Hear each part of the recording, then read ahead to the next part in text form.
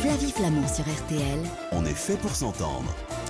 Pendant que Jacques Pradel passe juste à côté de notre studio et nous salue, salut Jacques, vous n'êtes pas venu témoigner, mais on vous retrouve demain sur l'antenne d'RTL. On va accueillir, si vous le voulez bien, Yann. Yann, bonjour, soyez le bienvenu dans On est fait pour s'entendre. Bonjour Flavie, merci. Merci. Merci à vous euh, d'avoir euh, composé le 3210 et d'intervenir euh, sur cette antenne. Vous êtes en couple aujourd'hui, comment s'appelle votre compagne? C'est Marie. Marie. Alors, Yann et Marie, euh, vous avez une sexualité visiblement euh, épanouie, voire très épanouie, et, les films euh, à caractère pornographique font partie donc de votre sexualité. Qu'est-ce que ça vous apporte? Alors, c'est plus dans le dans l'esprit d'un d'un jeu ou Oui. d'une d'une enfin, d'une petite étincelle en plus, mais comme on disait tout à l'heure, c'est plus dans la une un- quelque chose qui se trouve dans la panoplie. Mm. C'est pour éviter peut-être aussi parfois la routine, euh, la même chose. euh, voilà, c'est le petit plus. Euh, comme on peut utiliser peut-être parfois un sextoy, c'est pas parce qu'on regarde une fois ou deux des films ou qu'on utilise un sextoy que c'est régulier. Voilà, c'est un des plus qui va nous amener une- un imaginaire, euh, qui va nous permettre de, de- même des fois d'en rire, de, de rigoler, Ouais. mais c'est surtout ça crée une grande complicité quoi dans le couple. Voilà. Est-ce est-ce que ça contribue à la montée du désir? Aussi, oui, oui, aussi, tout à fait. Ça, ça- C'est pour ça, qu'on regarde un film en fait C'est- pour faire monter le désir C'est pour le booster quand on parle de booster la Non, euh, je, moi je parle pas de booster parce Mm. que euh, contrairement aux témoignages, enfin certains témoignages disent, euh, bah, si on utilise un film pornographique dans le couple, c'est que rien ne va ou il y a quelque chose qui ne va pas. Ce qui n'est pas notre cas du tout. Nous, s'il n'y a, pas de film pornographique, bah, notre couple va très très bien. On n'a pas besoin de ça. Mm. C'est pas régulier, mais ça c'est tiens, bah, on- tiens, bah, aujourd'hui ça va changer. Tiens, si on regardait un film pornographique, et puis effectivement, bah, ça, il y a le désir qui monte et l'envie euh, vient, et voilà, c'est, plus dans le jeu euh, Mm. que ça se passe. Voilà. euh, et une- il faut une grande, je pense, une grande complicité dans le couple, contrairement bah, au témoignage où on nous dit euh, c'est que ça va pas bien. Alors, oh là là, moi, Yann, c'est, vous qui avez. Pardonnez-moi. C'est vous qui avez proposé à Marie C'est Marie qui vous a proposé Ou est-ce que vous vous êtes retrouvé naturellement dans ce genre de, de circonstances C'est un peu, ça s'est un peu passé comme la dame précédemment, c'est-à-dire un, un soir la télé allumée et puis hop, on est, on est tombé aussi sur Mhm. ce film et puis on l'a re- regardé et ça s'est fait naturellement en fait, voilà. Est-ce que vous avez découvert des, des- des choses de Marie Et est-ce qu'elle en a découvertes de vous aussi à travers Ça- cette activité? Ça peut, ça peut aussi être l'objet de discuter et de découvrir certaines envies euh, de l'autre, mais comme on est, on est un couple assez ouvert, Hmm. euh, on n'a pas un regard, euh, enfin, pas, pas malsain, mais on n'a pas un mauvais regard quand euh, on sait que l'autre a envie Hmm. ce qui n'est pas forcément vrai pour l'autre personne en face. hein. Moi, j'ai des désirs qui ne sont pas forcément les siens, mais on n'a pas une critique, c'est, c'est, c'est pas, on n'a pas un œil mauvais, voilà, Ni d'inquiétude. Ni d'inquiétude, exactement, parce qu'on sait faire la part entre un fantasme, une, Mm. une envie, un désir, et, et- et dans notre couple, on, parle beaucoup, beaucoup, beaucoup, et c'est plus, euh, alors, euh, dans l'imaginaire, tout est autorisé, mais rien n'est obligatoire, voilà, et on respecte l'envie de l'autre et on sait où s'arrêter. Mais de toute façon, on a une vie sexuelle, je dirais, tellement riche que Oui. si moi j'ai une envie qu'elle n'a pas, et vice versa, c'est pas grave, parce que moi je suis en couple et c'est tellement bien tout ce qui Mm. se passe que voilà. Il y a plein d'autres choses, voilà. Yann, euh, dans, dans l'univers du, du monde des films X, euh, il y a plein de genres. On a des auditeurs aussi qui s'inquiètent d'une forme de surenchère, c'est-à-dire à un moment donné, regarder un film ensemble où on voit un couple euh, amoureux ou, ou pas, en tout cas avoir des relations sexuelles, et puis passer d'un genre à un autre et aller explorer des fantasmes, comme ouvrir des portes dans des univers de plus en plus sombres. Qu'est-ce que vous avez à répondre à ça? Oui. Euh, alors, effectivement, euh, il y a des choses qu'on va jamais regarder, des films vraiment spécifiques Oui. euh, qui vont peut-être tourner vers du gore ou des Mhm. ou, ou- ou peut-être du sadomaso, et choses comme ça. Nous, ça, non, ça c'est pas. On va plus rester, je dirais, si on peut appeler ça du traditionnel, Oui. mais où il y a quand même un respect de l'autre, un film où il y a quand même le respect de l'autre, où il y a, voilà, on est plus dans ce dans ce genre de film. Mais aller plus loin, non, nous ça nous intéresse pas, de toute façon. Il faut Mais savoir que faire un tri et un Voilà. choix et s'arrêter aussi. Voilà, alors et- et, à quel moment s'arrête-t-on selon vous hein? Là, je ne parle pas de vous, mais je parle avec vous euh, de, de- de- de ce sujet-là. Est-ce que vous avez le sentiment qu'il y a quand même, puisque vous nous expliquez que euh, c'est la solidité d'un couple, c'est la, la complicité qui fait qu'à un moment donné, on peut s'installer euh, sur un canapé, un lit, peu importe, enfin, en train de regarder un film porno, est-ce que vous avez le sentiment qu'il y a quand même une sorte de, de charte euh, avec des, des, des, des fron- Oui, des frontières à ne pas passer? Je pense, oui, quand même, à un moment donné, oui, je pense, ouais. Pour pas mettre mal à l'aise euh, dans le couple ou l'autre, euh, voilà, ou le conjoint, à un moment donné, oui, euh, ça s'arrête. euh, Il faut savoir s'arrêter quand l'autre faut est savoir mal. s'arrêter, je pense, oui, tout à fait. Thérèse Ça Argot, peut être dérangeant. Si, Thérèse- ça- si on va beaucoup oui. trop loin dans des spécificités ça. euh, qui là, nous dépassent. Thérèse Argot, que, que pensez-vous du témoignage de Yann? On, on sent un homme euh, épanoui qui parle des choses avec énormément de, de, de, de- de recul, euh, très à l'aise dans son, dans son domaine. Je pense que pour pouvoir appeler une radio et parler de ça, effectivement, il faut être assez à l'aise dans son domaine. Mais je pense aussi, quand je vous entends, que je suis pas sûre que vous représentez la majorité des gens aujourd'hui. C'est-à-dire qu'il y a beaucoup de personnes qui sont quand même aussi mal à l'aise. Vous parlez d'une grande complicité, d'un grand respect, et on voit bien la- le couple comme il peut être solide et comment vous abordez ça. On entend aussi d'autres couples qui le sont beaucoup moins. Je, je pensais à vos auditeurs en me disant, mais tiens, comment est-ce qu'ils doivent recevoir ça? Ils doivent se dire, Alors mais moi, peut-être hmm, que j'ai pas autant de complicité, peut-être que je suis pas aussi à l'aise, et, et je voudrais aussi qu'on ça peut nous inquiéter en fait quand on vous écoute, mais oui, Yann. un petit peu en fait, mais Désolé, positivement. C'est pas aussi, grave, Yann, on C'est bien. En tout cas, on vous remercie parce que ça nous provoque chacun où est-ce qu'on en est dans notre couple, dans notre discussion et dans notre complicité. Donc, euh, merci en tout cas. Mais Mais je- voilà, Ouais, attention à je, ceux je qui pensent pense que c'est qu'il faut peut-être difficile. une certaine ouverture. Et, Et en avoir envie voilà. surtout. Hein, Et et en avoir envie, tout simplement. Et Yann. Je pense que c'est le, respecter- et je pense que respecter c'est la base. le- tous les deux. Et, et respecter que l'autre n'ait pas forcément envie.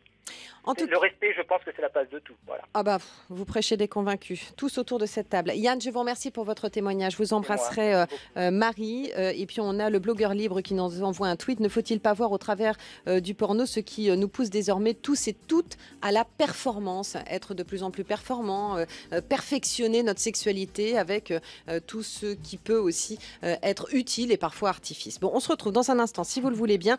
On a des messages aussi sur l'industrie du porno qui parfois aussi coupe littéralement la libido. On en parle avec vous tout de suite. Flavie Flamand sur RTL. Flavie Flamand, On est fait pour s'entendre. RTL. Moi, je n'ai pas besoin de ça et je suis assez imaginatif, nous écrit Christian. Vu qu'en amour, rien n'est sale, je vous laisse imaginer. Bah, écoutez, Christian, on imagine et puis surtout, euh, on vous embrasse. Petite bombe fleurie à retardement, nous écrit Guilin. Le risque est réel de regarder un film porno euh, en couple. Votre partenaire risque de ne plus vous satisfaire du fait que votre centre d'intérêt se déplacerait à coup sûr vers l'une ou l'autre de ces images et votre partenaire ne le saura jamais. Et puis Christelle qui nous écrit on va dire que ça réveille des désirs endormis, mais je trouve ça malsain avec la personne que l'on aime. J'ai du mal à associer amour, tendresse et porno, certainement par peur que l'homme prenne le dessus sur moi et ne me respecte plus, comme ce fut le cas avec mon ex. Effectivement, on est tous, euh, euh, tous emprunts aussi de nos histoires personnelles. Euh, on ne peut pas se décréter totalement épanoui sexuellement lorsque l'on a tous un passé, des souvenirs plus ou moins agréables. On arrive chargé aussi de nos histoires sexuelles, Ouais. Christilla. Bien sûr qu'on arrive chargé de, de nos histoires et l'un et l'autre, Bien sûr. qu'on n'est pas euh, comme ça euh, sorti euh, de, de Mars ou de Pluton. Et euh, mais c'est ça aussi qui fait la richesse de la rencontre. hein. Il y a une rencontre entre deux histoires, entre deux personnes. Mais qu'il faut savoir entendre aussi. qu'il faut savoir entendre, qu'il faut savoir, euh, à laquelle il faut savoir laisser la place également, et l'un et l'autre.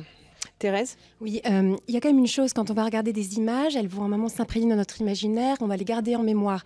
Un des grands dangers, dans le sens où ça peut être très très mal vécu, c'est quand ces images reviennent au moment où on n'avait pas prévu, c'est-à-dire pendant une intimité sexuelle, on est dans une relation même d'amour, et en fait ces images viennent comme parasiter la relation à l'autre, elles viennent court-circuiter. Une des grandes peurs de beaucoup de femmes ou d'hommes, c'est de dire est-ce que elle ou lui pense à quelqu'un d'autre ou à autre chose qu'à moi quand on est en train de vivre ce moment intime. Et bien sûr, la pornographie, c'est des images qui peuvent revenir dans ces moments-là. Comme une sorte d'infidélité d'image. Oui, et Une ça peut être très mal vécu. Qui font éruption Oui. dans- au moment de, Au moment de de la relation. Oui, bien sûr, qui font éruption et qui peuvent bloquer ou, Oui. euh, ou couper le, le Oui. lien qui est en train de se faire. Donc ouais. on croit maîtriser parce que d'un clic ou de- d'un Hmm. changement de chaîne, on regarde et en fait, derrière, on peut se rendre compte que les images, à un moment, prennent le dessus sur nous. Ça veut dire qu'elles nous dominent un petit peu et qu'on les maîtrise pas tout à fait au Voilà. moment où elles viennent. Et, et elles viennent parasiter. Catherine, un message sur Facebook. Ce n'est que mon avis, moi je trouve ça dégoûtant. Regarder en couple ou seul, célibataire ou non, j'ai du mal à comprendre que l'on puisse apprécier, voir des inconnus faire des choses supposées intimes, parfois violents, rabaissants, surjoués. Ces films sont pour moi une véritable horreur et j'ai toujours du mal à croire qu'ils puissent avoir une véritable influence positive sur qui que ce soit. Et puis un autre message d'Annick, une femme ne doit pas être un objet sexuel et je crains cela dans les films porno. Ce sont quand même des films faits par des hommes essentiellement pour les hommes.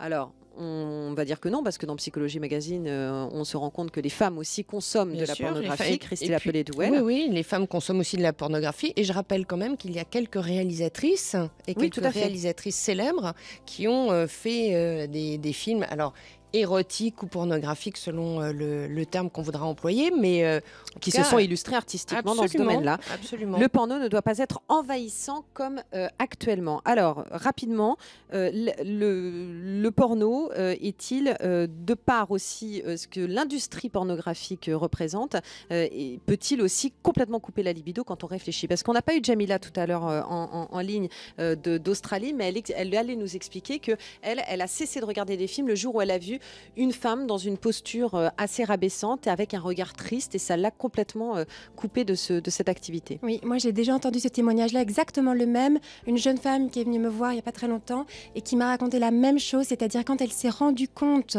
qu'en fait derrière c'était des actrices, euh, mais qui étaient aussi euh, pas respectées comme femmes, eh bien ça l'a coupée complètement. Et, et puis souvent il peut y avoir une, alors il y a une solidarité féminine, mais il peut y avoir aussi une solidarité masculine de dire moi on instrumentalise la personne humaine au service du plaisir. Et là il y a une atteinte à la dignité de la personne humaine. qui est- Absolument. et puis, il faut bien comprendre que tout ça, quand même, il n'y a pas que du, du porno propre et bien joli. La majorité, très large majorité de la pornographie, c'est quand même des choses, il y a des circuits d'exploitation, il y a des choses qui sont vraiment pas, euh, pas justes et pas éthiques,